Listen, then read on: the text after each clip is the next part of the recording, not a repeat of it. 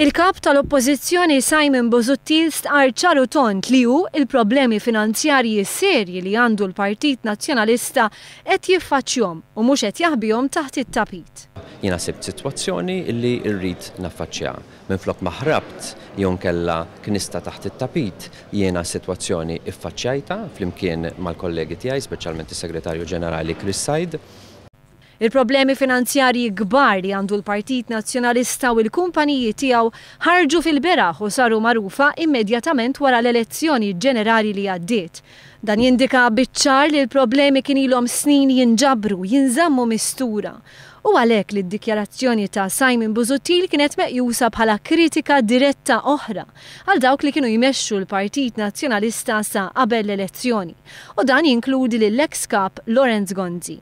Din hija t-tieni darba fi ftit jiem li Simon Busuttil għamel rimarki meqjusa bħala kritika qawwija indirizzata lill-amministrazzjoni preċedenti taħt Lawrence Gonzi. Nhar il-Ħadd li għadda Simon Busuttil iddikjara li huwa kien ħa l-Partit Nazzjonalista fl-aktar mument dgħajjef f'ħamsin sena.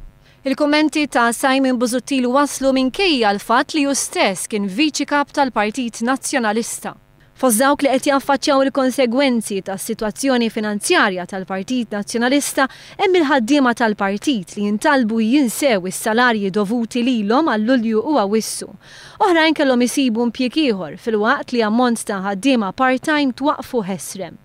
Waqt żjara li għamel fiż-żona industrijali tal-Imrieħel, Simon Busuttil saħaq dwar il-bżonn tal-ħolqien ta' xogħol. Iżda minflok ma wieġeb id-domandi ta' one News u tal-ġurnalisti preżenti, ipprova jtaffi l-gravità tal-fatt li l-ħaddiema tal-mezzi tax-xandir tal-Partit Nazzjonalista mhux qed jitħallsu ta' xogħolhom. Belli, L-ewwel nett ma ntalbux il-ħaddiema illi ma jitħallsux il-paga tagħhom, intalbu li l-ħlas tal-paga tagħhom tiġi posposta bi ftit, sakemm is-sitwazzjoni ta' cash flow tal-Partit illi hija magħrufa tiġi normali.